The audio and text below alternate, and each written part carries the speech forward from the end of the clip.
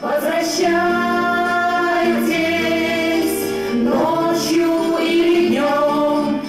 Текст песни пробирает до мурашек, а на глазах невольно выступают слезы. Особенно, когда знаешь, что все, что осталось у большинства этих женщин – кители любимых мужей, героев, отдавших жизни за Отечество.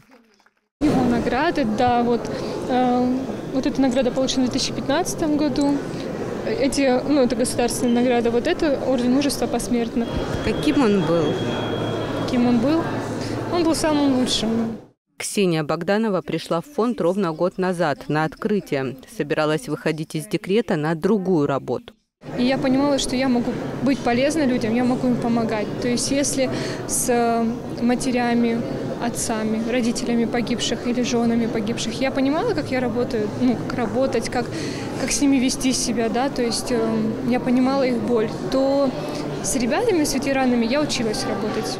Так сложилось, что большая часть сотрудников фонда либо как Ксения, жены или родители участников спецоперации, либо ветераны СВО. Мне в фонде помогли. Меня провели по всем инстанциям, по всем больницам, и поэтому,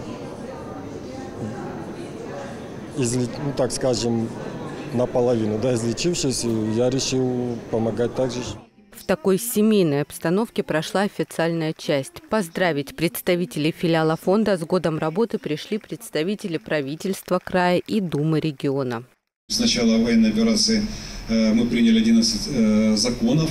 Все время идет донастройка. И, наверное, вы обратили внимание, что ряд законов, принимаемые в текущем времени, они относятся на правоотношения, э, возникшие с начала специальной военной операции. Мы очень за этим внимательно следим. Конечно, э, в общем-то, есть э, случаи, которые не подпадают под действие закона, все равно происходит анализ, и в перспективе они будут решаться. Это и поручение президента, это и, в общем-то, решение нашего губернатора вместе с одной командой.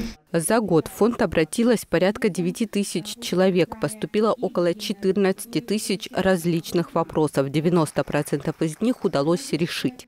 Мы закрываем год с полным пониманием правительства Ставропольского края, Думы Ставропольского края и всех заинтересованных э, структур в том, что мы делаем, и в том, что наша работа сейчас в основном направлена на реализацию тех вопросов и тех проблем, с которыми ребята возвращаются обратно.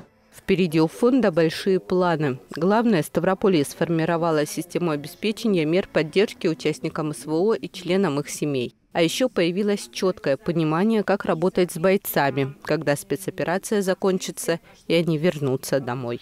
Кира Мартынова и Иван Дацунов, Ставропольское телевидение.